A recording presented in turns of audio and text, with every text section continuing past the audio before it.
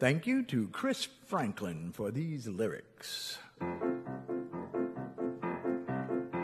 The world has caught a virus, so I've written you a poem. We need your help to cure it, so stay the fuck at home. And if you have got 12 kids or you're living on your own, lock it down and isolate and stay the fuck at home. If you think you're not at risk here, you're living in a dome. It spreads faster than a hooker's leg, so stay the fuck at home. I need the gym, I need the beach, I hear you bitch and moan. You need to grow a brain cell and stay the fuck at home, but I feel fine.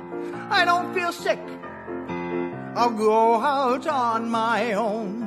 How thick are you, you selfish prick? Please just stay the fuck at home.